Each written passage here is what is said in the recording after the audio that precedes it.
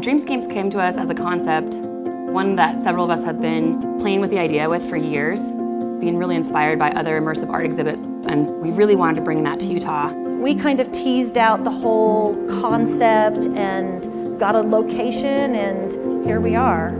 Because we invite people to play and explore, Dreamscapes allows people the tactile experience that you don't usually get in a traditional art museum or an art exhibit. Here's please touch the art. Please become a part of this art. How many times can you go into an art museum and just climb on top of a toadstool and hang out?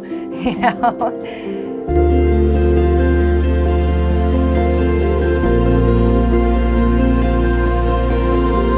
Wanted everyone to come through this exhibit and be able to just add something of their own. And I think this room specifically gives that to them. I mean, as you can tell, looking all around, we have like kangaroos and elephants over there, triangle right there, a flag, rainbows all over. So it's been really, really fascinating to see what people have do. The passion that went into this is something that we are proud of. One room was created by one group of artists and another room was created by a completely different artist and they were working off of this collective understanding that it was a dream. Every single room here was basically inspired by the materials that we had at hand. Dreamscapes really came to be and is a really good example of how you can repurpose materials and give it new life into something that's really beautiful. I know that there was one local company that donated a lot of stuff. It actually is helping that company reach their zero landfill goal. We found just this material that wasn't being used or that had been discarded and we made magic happen with that.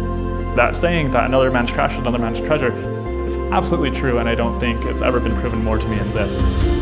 There are many reasons why Dreamscapes is important. I think it's a great way to bring people out of their houses and give them a chance to experience something really amazing that they've never experienced before.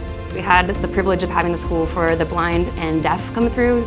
Being able to see children interact with art in a way that they never have before was incredibly gratifying and really hit home our main purpose, which is to make art accessible for everyone.